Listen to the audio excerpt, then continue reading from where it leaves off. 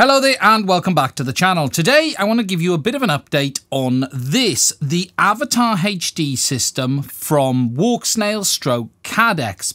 Now, since the release of this system, I have been following it, I've made a lot of coverage about it, and I have shared with you my opinions on the system up till this point, including stating that I think it is still a beta product. However, it's been a little while since I've made content on this, there is new beta firmware in the works, and I feel it's now time to share with you what my position is on this system today, but also discuss the fact that there are discounts available on it as well, and the fact that we're likely to see a new system from the big three letter company in the next couple of weeks, and where that leaves this. Now, just to be clear, this video is going to be a talking head video. There is going to be no flight footage. More than anything, I want to address the issues and the problems and the questions that I've brought up about the system in the past, and then at the end, explain where my position is today. Now, as always, my thoughts are entirely my own. Some people will agree with them, some people won't. If you'd like to support us to be able to keep making independent content on the channel, please do make sure you check out the link to my Patreon in the description. I want to say a massive thank you to all of my Patreons. I would not have been able to continue to make content like this and buy these systems without your support. Okay, so to start, and the best place to do that before we get into the system itself is with the branding because there's some stuff here we need to clear up. Originally, we had a set of goggles from Fat Shark called the Dominators, which I have here. These were compatible with a VTX called the Avatar VTX from Walksnail. We then also had a set of goggles released by Walksnail called the Avatar, which are basically identical to the Fat Shark goggles, just a different colour. Today, we have the Avatar goggle and the Fat Shark Dominator goggle, which are both the same and fully compatible with the Avatar VTXs that are available on the market. The Avatar VTXs were originally sold under the Walksnail brand, but Walksnail were basically a subsidiary of Caddx FPV. Basically now, Walksnail is going to be dropped, and what you now have is the Avatar HD system sold by Caddx FPV, which are compatible with the Fat Shark Dominator goggles, which are also available. Whilst this has all been a bit confusing, it has all settled down, and we now simply have the same goggles from two different manufacturers with VTXs from one manufacturer. Now, at the moment, there are some discounts and offers available from each of those companies. For instance, you are seeing discounts available from Rotorriot on the Fat Shark Dominator goggle. They are offering free postage into the UK and EU, as well as a 30 day money back guarantee, allowing you to try the system and if you don't like it, send it back. There are, though, some caveats on that 30 day trial, and you do need to read the information carefully. For instance, it is only on up to the goggles and the VTX. If you were to buy it in a bind and fly drone or with other products, you would not be able to return them. So before you actually do those purchases via Rotorriot, do make sure you fully understand the terms and conditions. On Caddx side, they are doing some offers and deals available as well. For instance, they have said to people who have spent money in the past, there are discounts available on the Avatar system as well. I'm not going to go into the full details of that, but they do have it listed on their Facebook page. So what you have at the moment is discounts from both sides trying to get people into the system. Now, since this product actually released, I have been quite critical of it, and my stance on this product was that my opinion was that it was a beta product and it wasn't quite ready for the prime time. There has been a whole host of updates since then, and there is a new beta firmware in testing right now, which, in my opinion, pushes the system on quite a lot. And what I want to do is walk you through the issues, walk you through what has been fixed, what hasn't been fixed, and then share my overall thoughts on it. Now, we'll start with the goggles because that's the best place to begin on this system. Today, you have the goggles available from Fat Shark or Walksnail, but there is also a goggles module coming in the future with HDMI output, and that's going to be available for people who don't want to buy these goggles and they want to use it with products such as their Skyzone 04Xs or even the new upcoming HD Zero goggle that's going to be available soon as well. Goggles wise, the product really hasn't changed. The hardware is the same. The goggles overall image quality is very good. The displays are good. The fitment and finish on the goggles are good. The only real complaint I still have with the goggles today is that the anti-fogging performance is quite poor and that isn't something they're going to be able to fix in firmware. There has been a whole host of other issues with the goggles with regards to the firmware side of things, and we'll cover that when I cover the system side of it. But from a hardware point of view, my only real complaint today is that the fact that the goggles do fog up easily and that that SD card slot is in a pretty horrible place. Overall though, my opinion is they are one of the better fitment goggles that I have tried for me. The image quality and the optics are very good, and I have no major complaints with the goggle itself. I do intend to be releasing an STL file in the near future, which is going to help improve the fogging performance. If you're someone who's going to need to do that, you might be interested. It is going to be a new air duct for the inside, which will help with the directional airflow and hopefully improve the anti-fog. However, that isn't something we're likely to see from Caddx stroke Walksnail. Now, that then leaves the VTX. The situation with the VTX hardware has been that things really haven't changed dramatically, other than the fact that we now have the standard VTX, like I've got here, and there is a new 1S VTX available as well. I don't have that at the moment, but I should have my hands on it in the next couple of weeks. Really, most of the problems on this system have been software side and not hardware side, although it is fair to say that we did see in early days some failures of goggles and VTXs as a result of using them with 6S. For instance, it is not recommended the goggles are used on 6S period. You should only use these on up to 5S and actually my recommendation would be 4S max. On the VTX, it does support 6S, however, we have seen some random failures, and again, my personal opinion is that you should always be using these VTXs on a BEC, and I always strongly advise anyone using any digital FPV system always uses a spike absorber, something just to make sure that they are offering additional protection to the input. If you don't know what a spike absorber is, it is basically a small board with some TVS diodes on board, which allow it to absorb any spikes from the system. But the simplest thing you can do with the VTX is, is run it on your BEC, on your flight controller. We did see in the early days quite a lot of failures, but now things have settled down and we haven't really seen any major problems on goggle side or the odd failure on VTX. Really, it's settled down to what I would class in the same level as every other manufacturer. So now we've got past the hardware side of things, it's now time to talk about the software because this is frankly where the system was really struggling. As you've seen from some of my past videos, the compression behavior, the issues on the system were really at a state that I felt the product was classed as a beta product in my opinion and wasn't quite ready for the prime time.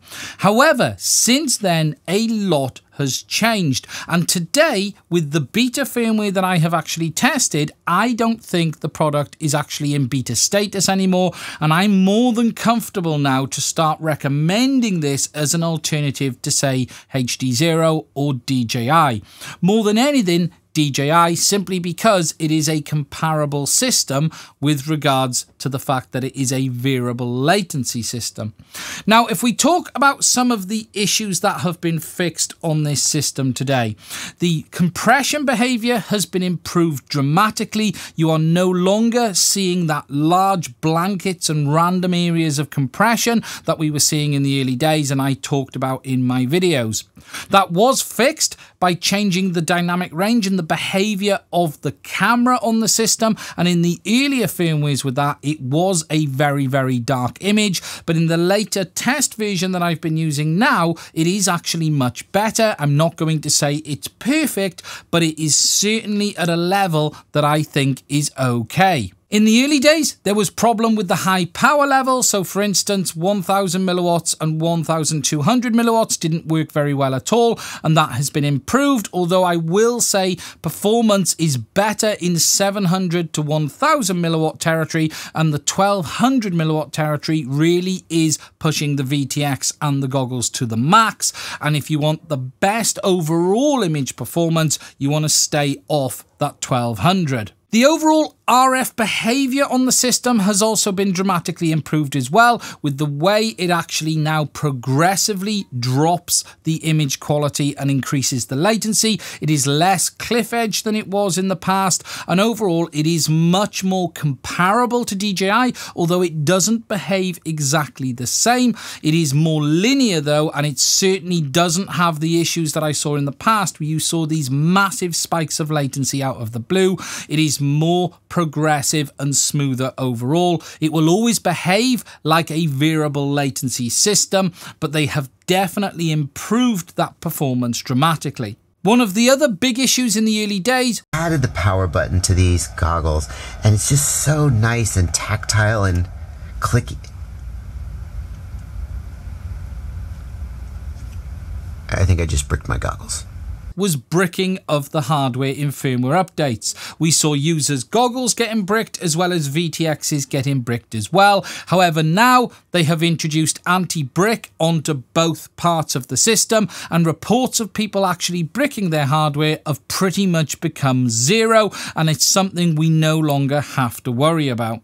Now, there are a ton of other little features and improvements that they've made to the system, including improving the OSD behavior, adding 4x3 mode, and just improving the overall behavior of the system with regards to the RF performance. For instance, the goggles on the Avatar HD system always transmit. In the early days, they would always transmit on whatever power level you left them on last. However, they did take feedback on this and they've now introduced a low power mode on the goggles. And whilst the goggles do always transmit, they now enter a low power 25 milliwatt mode and only go to full power when you arm the quad, which means if you're using the goggles round other pilots, whilst there's still the potential to cause problems, even with the VTX turned off, it should be much less of a problem than it was in the past, where the goggles could have potentially been outputting as much as 1.2 watts. It would be nice to actually see that number come down to say 0.1 watt when the VTX isn't armed and have like a pit mode option for it. But it is good to see that they have taken on board that feedback and tweaked the radio system to perform better. 25 milliwatts could still cause problems, but it's going to be much less problems than 1200 milliwatts. Whilst they have fixed a lot on the system, there are though still some issues. For instance, focus mode is basically still unusable, the OSD is still fixed in a 4x3 style mode, and the dynamic range on the camera still isn't quite as it was on the earlier firmware versions. However, none of this is what I would class as a deal breaker with regards to problems today. And whilst this footage does look dark, you can improve it simply by increasing the EV value. I found 0.3 makes a massive difference for me and it is almost perfect at this point on the new beta firmware.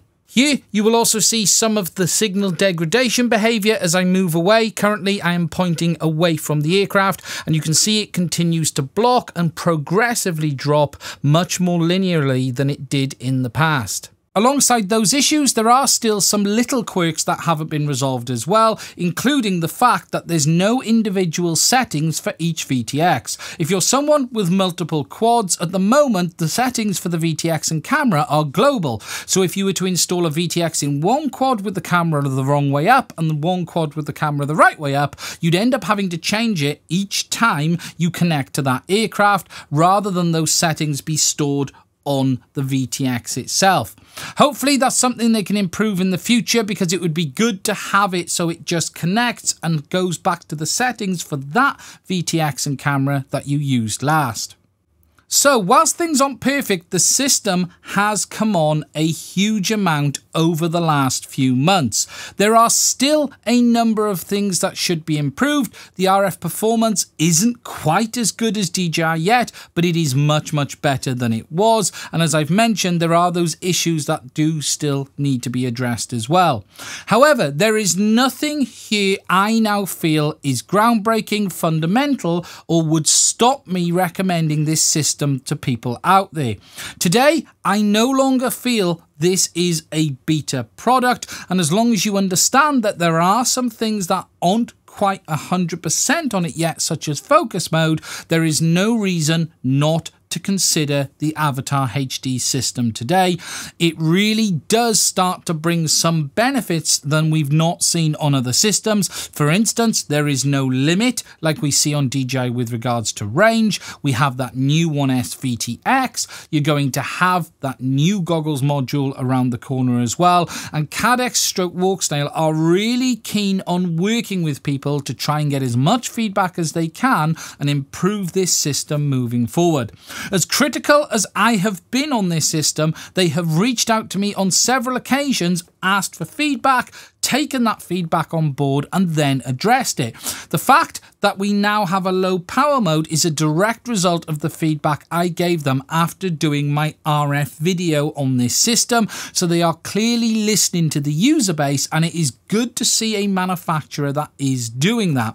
Whilst I know we are likely to see a new system from DJI in the near future, DJI is still DJI. And whilst they do listen to feedback, they don't always act upon it or at least least act upon it in a way we would like or at the pace that we would like as well.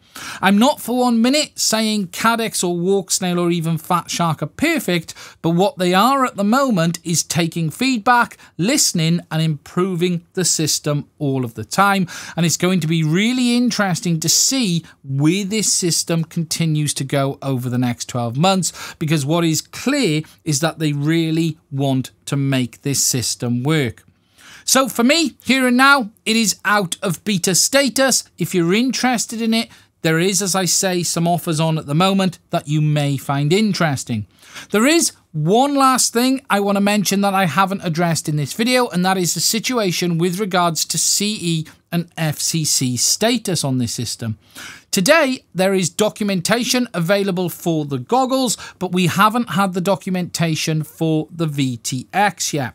I haven't seen any real evidence of the CE documentation fully. However, I have been assured that the system is fully compliant. Whilst I still want to see this full information published. It isn't something I feel I should use to hold the system back from being classed as a ready to go system. Just be aware that not all of the documentation at the point of me making this video has been published and you should take that into account depending on where you are in the world and what your local requirements are. Over the next few weeks, I'm going to be continuing to make a lot more videos on this system. There is the 1S VTX that I want to talk about in the near future as well, and there's going to be more content moving forward as we head into the DJI system release and the VRX module for this, and then the new HD Zero goggles. Now, if you want to continue to see content from me like this, please do make sure that you are subscribed to the channel. And if you'd like to support us to allow us to keep making the content, as I said at the start, please do consider checking out the link to my Patreon in the description. I want to say a massive thank you to all of my patrons who have supported the channel up till now. I would not have been able to buy this avatar system or even consider the new DJI system without your support. And if you feel you'd like to support us to continue to make content, please do consider checking it out. Something else my Patreon support is my ability to update repair.wiki. If you don't know what repair.wiki is, it's a website supported by Louis Rossmann where there is lots of free information on how to repair electronic products. Over the last few months, I've been trying to upload as much information as I can on the products that I tear down on this channel, and there is various pieces of information on the repair of this system as well as other systems such as HD Zero and the DJI Digital FPV system, and I can only continue to do that through the support of my patrons, and I want to say a massive thank thank you again to them from me. Anyway, that's it from me. Please do stay safe. Please do let me know what you think in the comment section. As I've said, beta status is gone. If you're interested, I would consider checking out the deal from Rotor Riot, 30 day money back guarantee, although do make sure that you do read the terms and conditions.